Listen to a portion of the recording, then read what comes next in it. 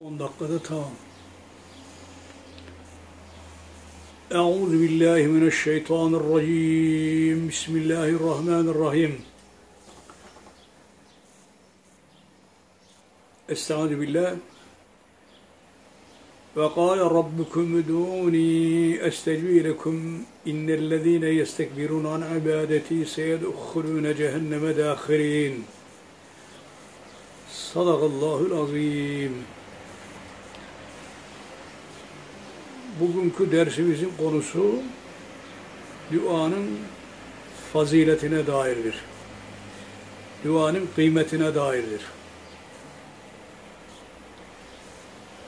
Efendimiz sallallahu teala aleyhi ve sellem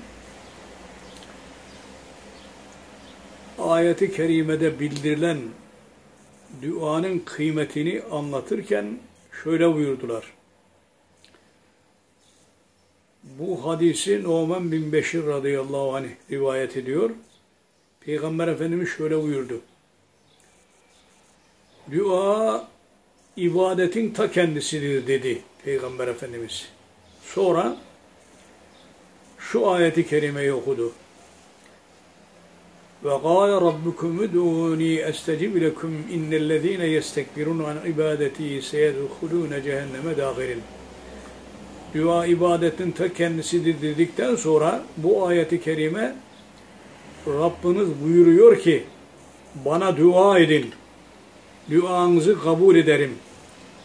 Kibirlenip de bana dua etmeyenler muhakkak cehenneme gireceklerdir. Yani dua etmeyen adam duadan vazgeçerek, duadan duaya karşı kibirlenirse, dua etmek istemezse, ben dua etmem diyecek olursa, o adam kibirlendiğinden dolayı yarın ahirette cehennemi boylayacaktır.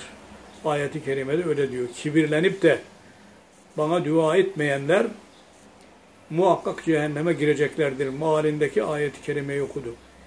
Cenab-ı Allah'ın kullarından istediği birinci şey duadır. Çünkü duada ibadetin ta kendisi vardır. İbadetin özüdür. Yine Peygamber Efendimiz sallallahu teala aleyhi ve sellem duanın kıymetini belirtmek üzere şu hadisi şerifi buyurdular. Ebu Hüreyre rivayet ediyor ki Leyse şeyun ekreme alallahi teala minet dua. Duadan başka hiçbir şey Allah'ın nezdinde daha şerefli değildir.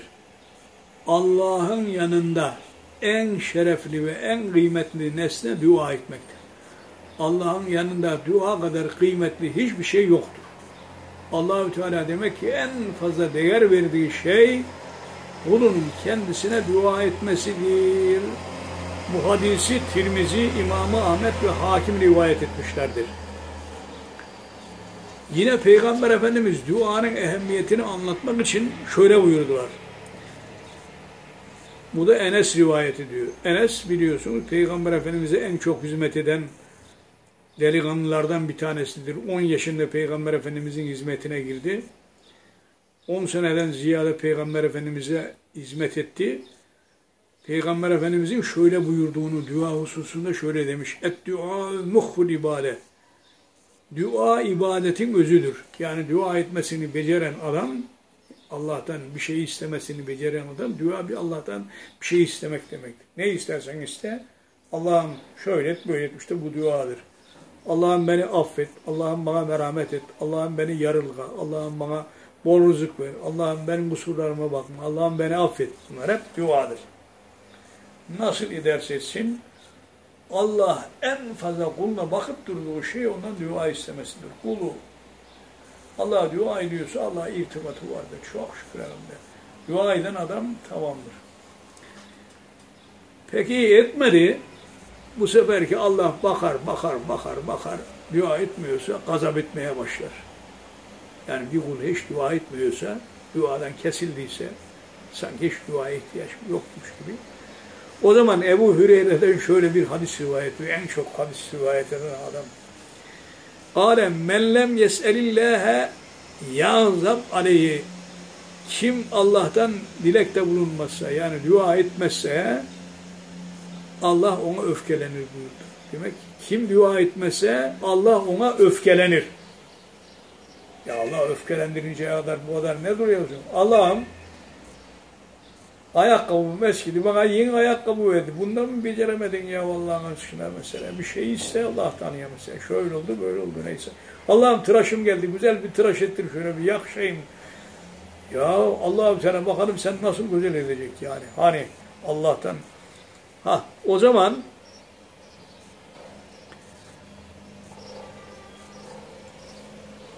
Hocam bak hele ben sana bir şey söyleyer miyim? Söyle bakalım ne diyeceksin? O kadar dua ediyorum da herhalde hiç kabul edilmiyor yani. Ha, oğlum o zaman sen duaları sıkıntılı zamanda yapıyorsun. Allah'ın peygamberi buyuruyor ki eğer bir adam duasının hemen kabul edilmesini istiyorsa geniş zamanda dua edecek ilkin. Yani hiçbir şey yokken ne, ağrım yok, sızım yok, bir işte, isteğim yok. Yani ihtiyacım yok, dua etmeye ihtiyaç yok. Böyle bir zamanda dua edersen, ihtiyacın olmadığı bir zamanda Allah'a dua edersen, Allahü Teala senin kulumun bak bana ihtiyacı olmadığı halde bana dua ettiğinden dolayı bu kul artık ne isterse verilecek diye taz zamanında yazdırırsın. Ondan sonra daralınca dua ettin mi şak o dua kabul edilir. Ha, şimdi ne diyor Peygamber Efendimiz? Şakıldattım ki hiç unutmasınlar. Evet, Ebu Hüreyre'den rivayet ediyor. Peygamber şöyle buyurdu sallallahu aleyhi ve sellem. Kim üzüntüler ve güçlükler anında dua edilmesini istiyorsa, bak, kim üzüntüler ve güçlükler zamanında duasının kabul edilmesini istiyorsa, ben bir güçlüğe girdim veya üzüntülü bir zamana girdim, o zaman da duamın kabul edilmesini istiyorsam, bolluk ve mutluluk zamanında çok çok dua etsin. Yani kim sıkıntılı zamanda duasının kabul edilmesini istiyorsa, o adam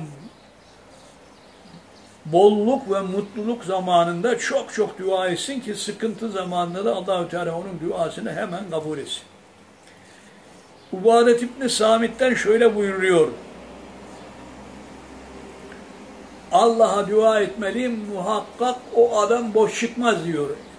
Übadet İbni Samit'ten rivayet edilen hadis-i şerifte ise قال ما على الأرض مسلم يدعو الله بدعوة إلا أتاه الله إياه إلى آخر hadis. Bak ne diyor? Übale bin Samit radıyallahu anh şöyle buyuruyor.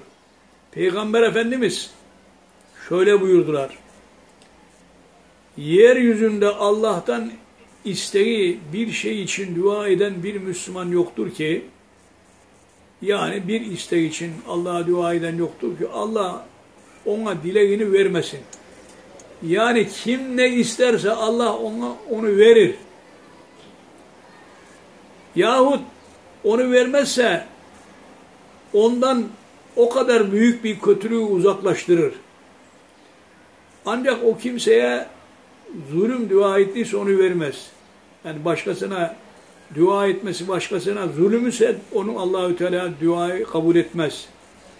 Neden? İlkin o adama zulmettiğin adama dua edersin o da kabul olur acımaya başlarsın dayanamazsın bu seferki. Veyahut kendi akrabasına kötü dua etmezse Allah kabul eder. Demek ki iki şeye bağlı.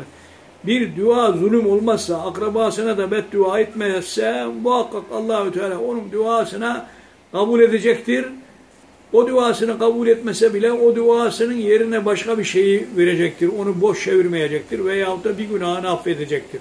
Buyuruyor. Şunu müjdeliyoruz, biliriz ki eğer bir adam dua etmesini beceren de dua eden bir adamsa o adama hayır kapılarının açıldığını Peygamber Efendimiz şöyle haber veriyor. An İbni Ömer, anin Nebi Aleyhisselam, قال men futuga lehu minkum babud dua futugat lehu ebvabur rahme. İbni Ömer'den rivayet edilen hadiste Peygamberimiz şöyle buyurdu. Sizden kim dua kapısı açıldıysa ona rahmet kapıları açılmıştır. Yani bir adam dua etmesini beceriyorsa, kime dua kapısı açıldıysa, dua etmesini beceriyorsa ona rahmet kapısı açılır. Allah'tan din ve dünyada af ve afiyet dilemek lazım. Bir, Allah'tan af dileyecek, iki, afiyet dileyecek. Af, Ya Rabbi günahlarımı affet ve afiyet ver. Ya Rabbi günahlarımı affet ve afiyet ver. Evvela günahlarımı affet, sonra afiyet isteyecek. Allah Ya Rabbi günahlarımı affet ve afiyet ver. Sıhhat afiyet ver. Tamam.